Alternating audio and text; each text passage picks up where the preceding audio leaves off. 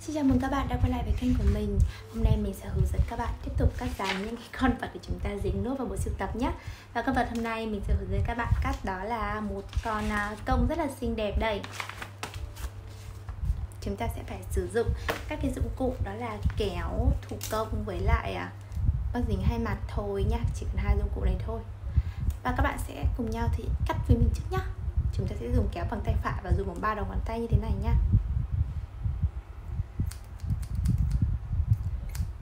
Bây giờ các bạn sẽ phải thực hiện là cắt rời cái chim công này ra khỏi cái tờ giấy này trước nhé.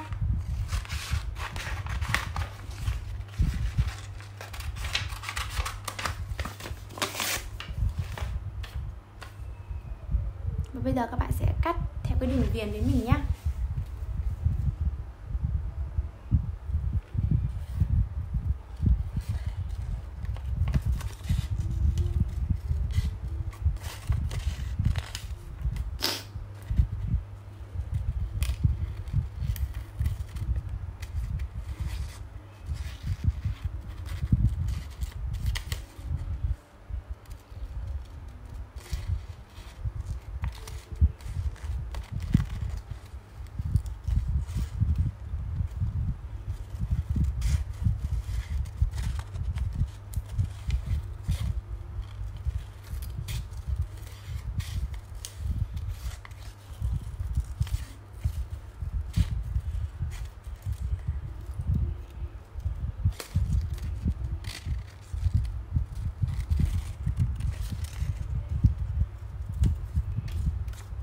Ok, vậy là mình đã hoàn thiện xong phần cắt một chú công rất là xinh rồi đúng không nào?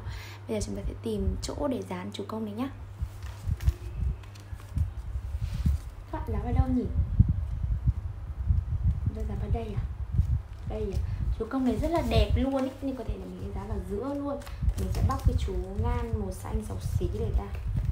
Để mình dán chú công vào đây nhá. Ôi, sorry chú ngan nha. Nhưng mà vì chú công quá là đẹp ý nên mình sẽ dán chú công vào đây. Rất là vừa vặn luôn đấy các bạn ạ. Đúng không nào bây giờ các bạn sẽ phải lấy gì nhỉ? Lấy à, uh, băng dính hai mặt nha.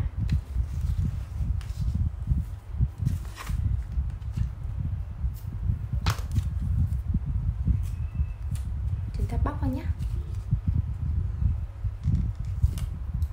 Tiếp theo thì mình sẽ dính vào đây này